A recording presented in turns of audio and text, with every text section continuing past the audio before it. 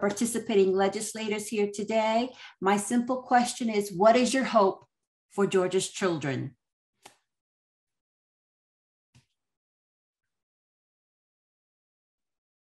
you want us to go in any particular order? Yeah. Whoever wants to go first. Like you, I, well, you know what? Let me go down my list. Senator Jackson. Uh, sure. I I hope for you all, for Georgia's children, that we can create a Georgia where you all feel safe, where you feel safe to go to school, where you feel safe to come home, where you have enough food to eat, where you have an education that prepares you well for whatever it is and wherever it is that you decide to go next. I hope for you all to be able to not just dream big, but to achieve big um, and to come up with new things that we can't even begin to imagine today.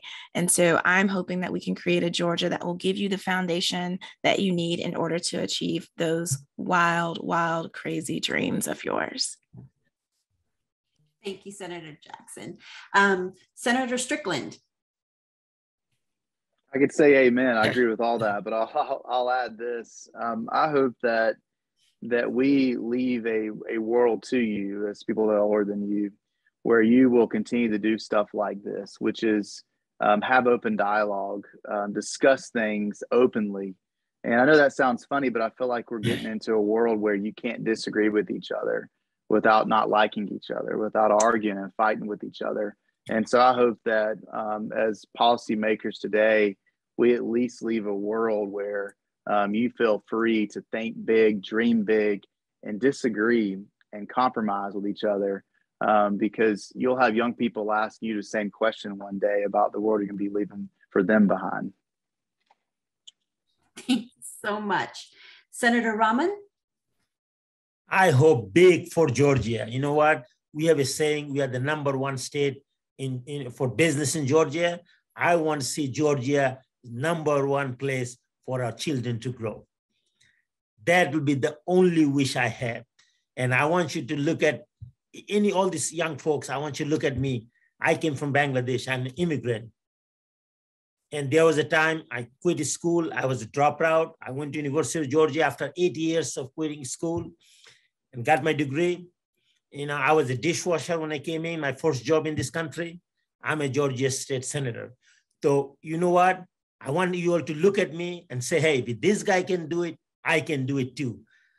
American dream is still alive and well. So we have a better future. And I really hope we can make Georgia number one state for our children. Thank you so much. Representative Clark. So I'll just say that uh, following the senators, it's really difficult because they have great words.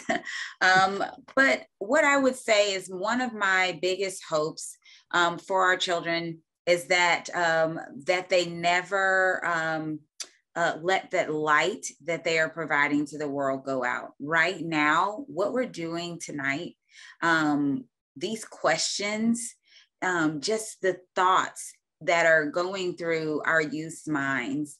Um, all of this is happening, and, and and y'all are the future.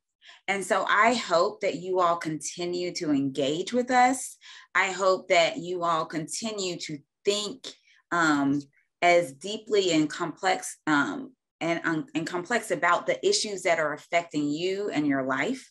And I hope that we, um, as the adults in the room, can agree that in the least, we should be investing in our children. We should be investing in their education. We should be adding to their curriculum and not taking things away.